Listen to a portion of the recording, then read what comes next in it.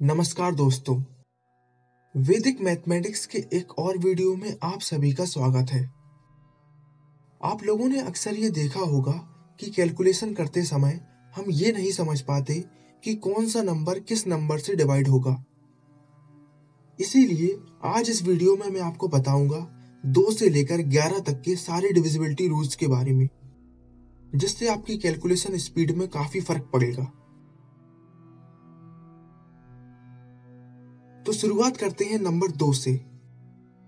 अगर हमें यह देखना है कि कोई नंबर टू से डिविजिबल है या नहीं तो हमें डिवाइड करने की कोई ज़रूरत नहीं है। हमें सिर्फ़ इतना चेक करना है कि उस नंबर के लास्ट में ज़ीरो, टू, फोर, सिक्स या फिर एट आता है क्या? अगर इनमें से कोई भी डिजिट उस नंबर के लास्ट में आती है तो वो नंबर टू से डिविजिबल होगा। और अगर नहीं आती है तो वो नंबर टू से डिविजिबल नहीं होगा। अब हम बात करेंगे थ्री के डिविजिबिलिटी रूल के बारे में। मान लीजिए, हमें यह चेक करना है कि two nine seven nine three से डिविजिबल है या नहीं। तो हम क्या करेंगे?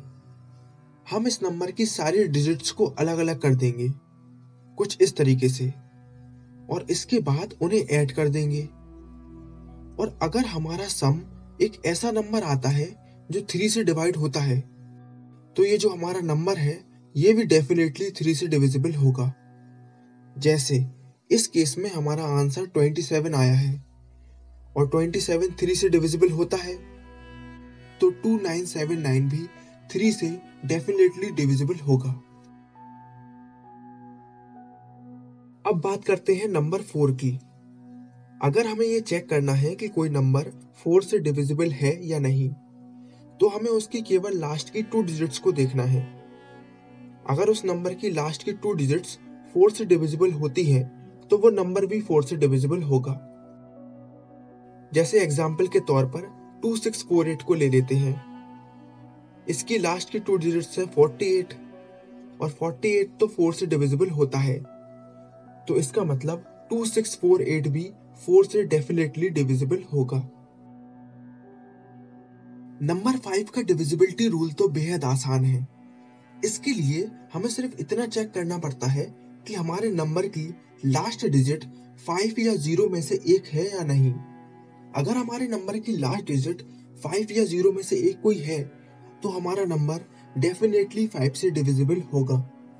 जैसे five zero five, one one nine five three zero five zero, ये सारे नंबर फाइव से डिविजिबल होंगे।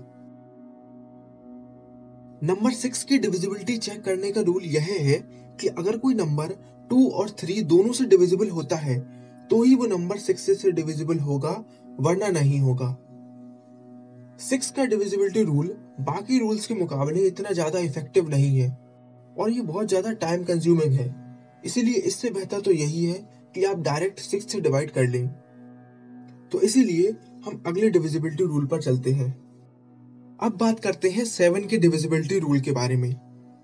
मान लीजिए हमें ये चेक करना है कि 798 7 से डिविजिबल है या नहीं। तो इसके लिए सबसे पहले तो हमें इसकी लास्ट डिजिट को अलग करके उसे टू से मल्टीप्लाई करा देना है। और जो भी हमारा आंसर आएगा, हमें उसे बचे हुए नंबर में से माइनस करा देना है। अगर हमारा आंसर एक ऐसा नंबर आता है जो कि सेवन से डिविजिबल है तो हमारा नंबर भी सेवन से डिविजिबल होगा। अब क्योंकि यहाँ पर 63 सेवन से डिविजिबल होता है तो 798 भी सेवन से डेफिनेटली डिविजिबल होगा। ये होता है सेवन का डिविजिबिलिटी रूल। नंबर एट के डिविजिबिलिटी रूल की बात कर लेते हैं। तो ये पता करने के लिए कि कोई नंबर एट से डिविजिबल है या नहीं हमें उस नंबर की लास्ट की थ्री डिजिट्स को एट से डिवाइड करके देखना है। अगर वो एट से डिवाइड हो जाती है तो हमारा नंबर भी एट से डिवाइड हो जाएगा। अब नाइन के डिविजिबिलिटी रूल पर आते हैं। नंबर नाइन का डिविजिबिलिटी रूल बिल्कुल थ्री के डिविजिबिलिटी रूल के जैसा है। मान लीजिए, हमें 837 के लिए चेक करना है तो हम 837 की सारी डिजिट्स को अलग अलग करके लिख देंगे। और उसके बाद उनका सम निकाल देंगे। तो हमारा सम 18 आएगा। अब क्योंकि 18 जो है, वो 9 से डिविजिबल होता है तो इसीलिए 837 भी 9 से डिविजिबल होगा। 10 का डिविजिबिलिटी रूल तो आप सब जानते ही होंगे कि अगर किसी नंबर के लास्ट में ज़ीरो आता है तो ही वो नंबर 10 से डिविजिबल होगा, वरना नहीं होगा। अब आते हैं 11 के डिविजिबिलिटी रूल की तरफ़। इसको मैं एक एग्ज़ाम्पल से समझाऊँगा।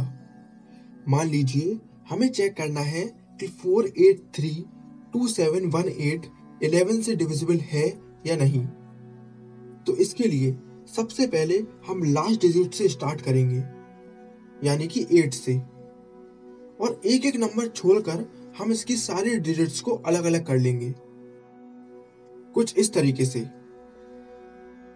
अब इसके बाद हम इन डिजिट्स का सम फाइंड कर देंगे। और इसके बाद हम इनका डिफरेंस फाइंड करेंगे। अगर हमारा आंसर ज़ीरो या फिर इलेवन का मल्टीपल आता है तो हमारा नंबर इलेवन से डिविजिबल होगा, वरना नहीं होगा। तो ये थे सारे डिविजिबिलिटी रूल जिनका इस्तेमाल करके आप ये पता कर सकते हैं कि कौन सा नंबर किस नंबर से डिविजिबल होगा। कैलकुलेशन करते समय ये ट्रिक्स आपके बहुत ज़्यादा काम आने वाली है। तो अगर आपको हमारा ये वीडियो पसंद आया है तो आप हमें कमेंट सेक्शन में बता सकते हैं। Thank you for watching